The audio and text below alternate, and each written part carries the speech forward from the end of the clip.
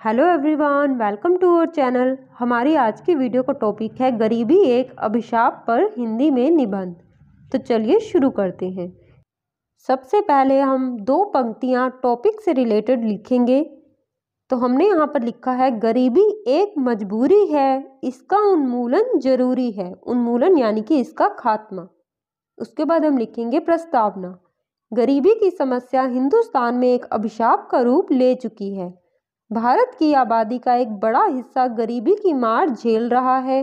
गरीबी किसी भी व्यक्ति या इंसान के लिए अत्यधिक निर्धन होने की स्थिति है। ये एक ऐसी स्थिति है जब एक व्यक्ति को अपने जीवन में छत, ज़रूरी भोजन, कपड़े, दवाइयाँ इत्यादि जैसी ज़रूरतों को जारी रखने में भी असमर्थ होता है। गरीबी के कारण कई कठिनाइयों का सामना व्यक्ति को करना पड़ता है। कुछ लोगों की स्थिति तो इतनी खराब है कि उनको दो वक्त का खाना भी नसीब नहीं हो पाता। फिर हमारा नेक्स्ट हेडिंग है गरीबी के कारण।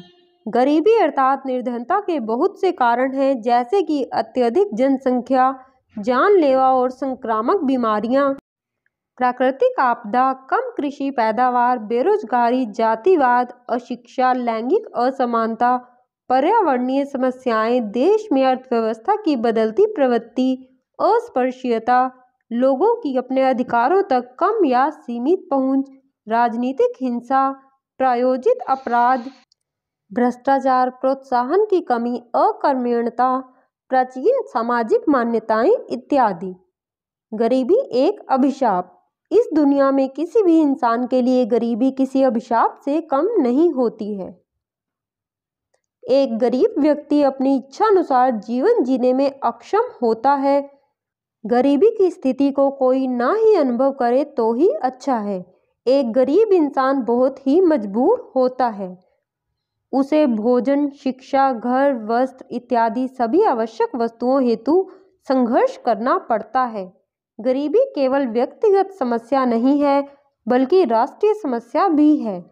कोई भी देश अपने देश के नागरिकों के दम पर ही चलता है।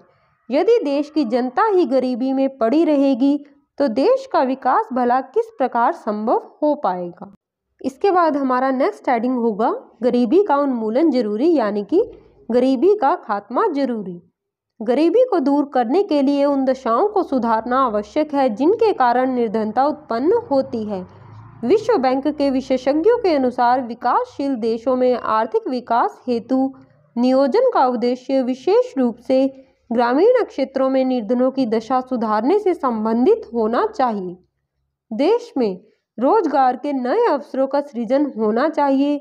निर्धनों की भौतिक दशा में प्रत्यक्ष सुधार की रणनीति अपनाई जाए, न कि औद्योगिकरण के द्वारा होने वाले धीमे प्रभावों की प्रतीक्षा की जाए। कृषि, हस्तशिल्प का विकास करके भी निर्धनता का निवारण किया जा सकता है। सूक्ष्म स्तरीय नियोजन को स्वीकार करते हुए आधारभूत आवश्यकताओं की पूर्ति को महत्ता प्रदान की जाए। अभाव, भुखमरी, कुपोषण से ग्रस्त व्यक्तियों की जीवन दशा को सुधारने के प्रयास किए जाएँ। उसके बाद हम लिखेंगे उपसहार। समाज में गरीबी के साथ साथ भ्रष्टाचार, अशिक्षा तथा भेदभाव जैसी अनेक समस्याएँ हैं, जो आज के समय में विश्व भर को प्रभावित कर रही हैं। हमें इनके कारणों की पहचान करनी होगी और इनसे निपटने की रणनीति बनाते हुए समाज के विकास को सुनिश्चित करना होगा, क्योंकि गरीबी का उन्मूलन मात्र समग्र विकास के द्वारा ही संभव है। तो फ्रेंड्स, इस तरीके से आप गरीबी एक अभिशाप पर निबंध लिख सकते हैं। आई होप ये वीडियो आपके लिए हेल्पफुल रहेगी। वीडियो अच्छी लगे, वीडियो को लाइक ज़रूर करें, शेयर करें, चैनल को सब्सक्राइब करना ना भूलें। धन्यवाद।